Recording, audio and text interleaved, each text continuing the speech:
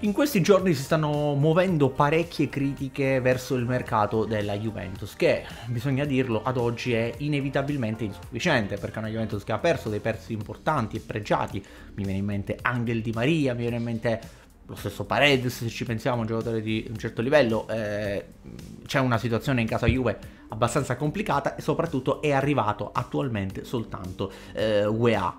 Dall'altro punto di vista però c'è qualcuno che dice occhio perché perché noi sottovalutiamo il mercato della Juventus, ma ad oggi sono rientrati molti prestiti, sono giovani, possono essere molto interessanti, ma soprattutto la Juventus può aver preso un giocatore di grandissima qualità che è stato un po' snobbato, che ora evidentemente eh, ci può dare qualcosa in più. Scopriamo il dettaglio tutto oggi su FCM News Sport. Io come sempre vi ricordo che qui sarete sempre costantemente aggiornati sulle vicende Juve. Quindi se vi va iscrivetevi al canale attivando la campanella delle notifiche. E allora, inizialmente la Juventus quando ha preso UEA, figlio di, del, dell'incredibile leggenda Giorgio UEA, molti hanno detto vabbè è lo scarto di, nessuno l'ha mai voluto, eh, a quest'età doveva già essere un top club se era un grande giocatore, lo prendi a 11 milioni, vuol dire che evidentemente non è granché, ha fatto 0 gol lo scorso anno, cosa vuoi che sia? È un giocatore assolutamente inutile e fin da subito io vi ho detto occhio, calma, perché è chiaro che in questo momento la Juventus non può comprare i grandi fenomeni, non vi aspettate gli acquisti di Kylian Mbappé o di Holland per intenderci, per cui è inutile eh, fare voli pintarici sul mercato, ma allo stesso tempo è inutile già bollare dei giocatori come bidoni, come giocatori inutili, come giocatori ininfluenti, giocatori invece che potrebbero invece dare qualcosa di interessante in futuro. Eh, e fin da subito vi ho detto occhio con UEA perché non è un fenomeno. E ve l'ho detto fin dal primo giorno. Non è assolutamente un fenomeno, non è un giocatore che, eh, diciamo, su cui c'era stata una grande concorrenza, ma è un giocatore utile fin da subito vi ho detto, è un giocatore utile per questa Juventus, che magari non ha il nome di Paredes, non ha il nome di, eh, di altri giocatori che in passato sono arrivati con grande blasone, ma ha sicuramente delle caratteristiche che servivano davvero tanto alla Juventus. Perché da tempo che vi dico occhio perché questo ragazzo ha delle caratteristiche che alla Juventus mancano da un po', ossia tanta corsa in una Juventus che gioca difesa e contropiede un giocatore come UEA serve perché corre davvero tanto, nel 3-5-2 può essere un elemento fondamentale perché in passato abbiamo invidiato a volte nel 3-5-2 dell'Inter o dell'Atalanta gli esterni di Inter-Atalanta, ecco che all'evento serviva un giocatore del genere. Ed infatti, soprattutto oltre alla corsa, oltre alla allo sprint anche la capacità di saltare l'uomo, cosa che in questa Juventus è da tempo che dico manca terribilmente. Io credo che la Juventus abbia cominciato un declino al di là dell'aspetto puramente societario e quant'altro, anche quando ha cominciato a vendere a cuor leggero tanti giocatori che saltavano l'uomo con facilità negli anni la Juventus ha avuto un anno con eh, Cancelo, eh, Quadrado, Douglas Costa, Dybala, lo stesso Spinazzola, erano giocatori che saltavano l'uomo con facilità e che potevano creare superiorità numerica. Negli anni la Juventus li ha venduti tutti questi giocatori, prima è andato via Spinazzola, poi Cancelo, poi Douglas Costa, poi Dybala, ora c'era Di Maria quest'anno, Ecco, sono rimasti veramente pochi. È andato via anche Quadrado, tanti giocatori che la Juventus ha venduto. Ecco, quando la Juventus invece prende un altro giocatore del genere, cioè uno che salta l'uomo, io credo che sia un punto a favore della Juve e non un punto a sfavore.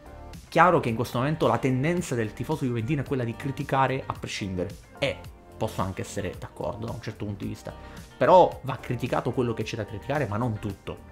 Ecco, UEA è un colpo che ha 11 milioni di euro, perché ricordiamoci l'investimento fatto all'evento per UEA è di 11 milioni di euro a inizio mercato per prelevare l'esterno americano da Lille, una cifra a cui andranno eventualmente aggiunti 2 milioni di euro per i bonus.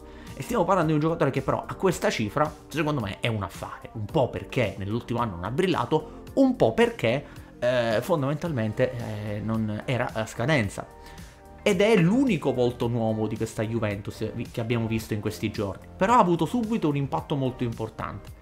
Corre, corre tantissimo, a sprint. Ehm, tutti i compagni, tra l'altro, sono rimasti abbastanza sorpresi dalla sua tenuta, soprattutto fisica.